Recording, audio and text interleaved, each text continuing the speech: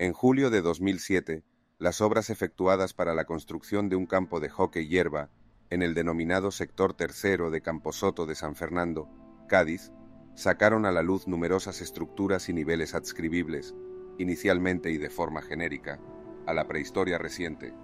Este yacimiento se sitúa sobre una ladera, a escasos metros de la línea de costa y a una altura de entre 18 y 12 metros sobre el nivel del mar, lo que le permite un gran dominio visual del entorno. Su carácter insular aún puede vislumbrarse en la actualidad a través de las salinas y esteros que rodean a la actual ciudad. El asentamiento prehistórico de campo de hockey constituye el núcleo poblacional sedentario más antiguo de San Fernando y del archipiélago gaditano.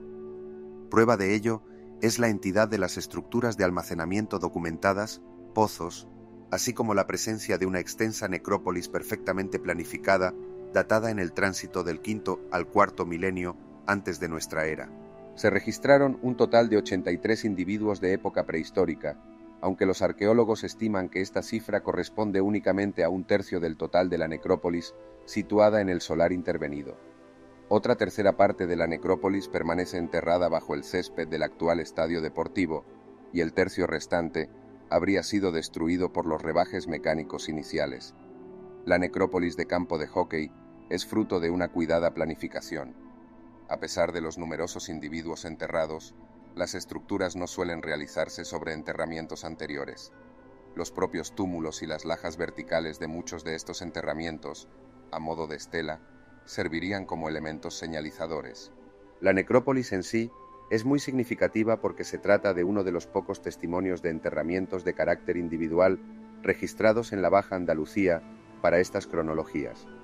El ritual de enterramiento consiste en inhumaciones individuales, con los sujetos depositados en posición fetal, recostados sobre el lado derecho o izquierdo y con las manos ubicadas a la altura del pecho o bajo el rostro. En algunos enterramientos podemos apreciar cómo uno de los brazos se extiende a la altura del pecho, aferrando en su mano un recipiente cerámico. De igual modo, debemos destacar la presencia de pigmento rojizo, ocre, en tres individuos, atribuyéndosele de forma tradicional a este elemento un alto contenido simbólico, aunque otros autores lo relacionan con fines antisépticos y desodorantes.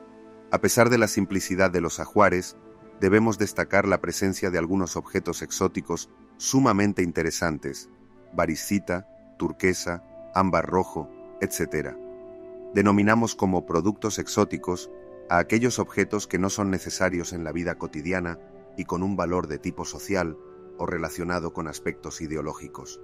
Son interesantes porque nos evidencian desigualdades sociales y porque nos testimonian la existencia hace 6.000 años de auténticas redes, a veces de procedencias muy lejanas, de distribución de productos.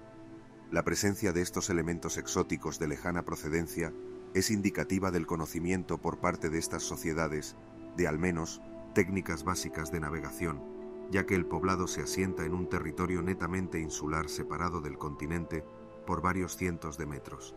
El desplazamiento por mar debió constituir una actividad común para estos grupos, siendo necesario para la redistribución de todo tipo de productos, no solo exóticos. Esta necrópolis cuenta con una variedad de tumbas que van desde los enterramientos más simples, depositados en el firme o en fosas simples, a los más elaborados, estructuras tumulares. Esta propia diferenciación en los tipos de estructuras funerarias nos muestra la existencia de diferencias sociales en vida de los individuos enterrados en ellas. Tras varios años de estudios sobre los restos hallados en la necrópolis, los investigadores dieron a conocer sus conclusiones en un artículo publicado en la revista International Journal of Paleopathology. Los arqueólogos explican que durante el Neolítico, San Fernando era una isla separada de la costa por una lengua de mar. Hace unos 6.000 años, sus habitantes vivían de la agricultura, la ganadería y la pesca, y a la vista del considerable tamaño del cementerio descubierto, el asentamiento debía de ser permanente y de cierta importancia. Se ha podido analizar el ADN de algunos de los restos y los resultados concluyen que se trataba de poblaciones europeas de agricultores, pero que conservaban aún un 20% de ADN de cazadores-recolectores. Además, algunos estaban emparentados.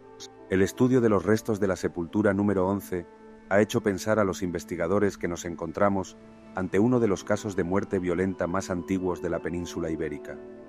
De los dos hombres enterrados allí, el primero, de entre 25 y 30 años, tenía una profunda herida en su frente que probablemente le causó la muerte. El segundo hombre, de entre 40 y 50 años, fue enterrado posteriormente y presentaba una herida en el parietal que casi con total seguridad también fue mortal. La tumba contenía el ajuar funerario más rico de todo el cementerio. Según cuenta el arqueólogo Eduardo Vijande, de la Universidad de Cádiz y uno de los autores del estudio, en la tumba había un collar de ámbar que probablemente fue traído de Sicilia, vasijas de barro, cinco agujas de hueso que tal vez pudieron ser un adorno para el cabello y un hacha de sílex que por su composición podría proceder del sistema central, de la zona de Segovia. Según Vijande, estos objetos tan exclusivos son indicativos de las primeras desigualdades sociales que surgen en ese momento, cuando tras la invención de la agricultura y la ganadería se dan los primeros excedentes y acumulación de productos, lo que hace que sus propietarios sean más ricos que sus vecinos. Estas desigualdades provocan violencia. A partir de esta época, la violencia se generalizó y los casos de agresiones mortales, incluso matanzas, empiezan a aparecer por toda Europa. Pero sin duda la parte más llamativa popularmente de este yacimiento tiene que ver con la tumba donde apareció el abrazo más famoso de San Fernando, también conocida como tumba de los enamorados. De hecho, según avanza Eduardo Vijande, la famosa tumba de los enamorados es, según su estudio, la más reciente de todas. Es decir, es el último enterramiento descubierto que se hizo en este asentamiento lo que demostraría que se realizaron enterramientos a lo largo de bastante tiempo y consecuentemente podría considerarse este poblado como un asentamiento estable de la zona. Pero, ¿se podrá algún día saber quiénes eran los abrazados?